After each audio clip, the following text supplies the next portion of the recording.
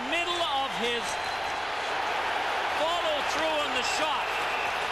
And Godard and Domi go at it. Godard called up from Bridgeport today.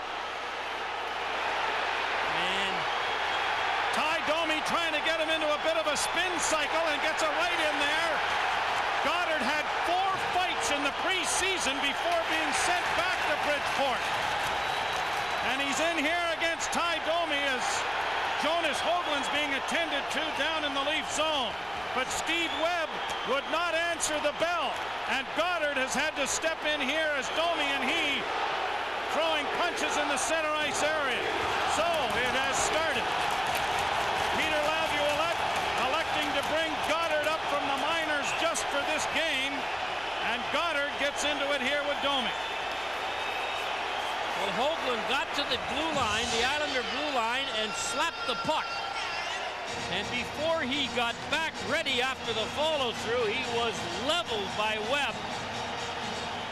And then Godard came over when Webb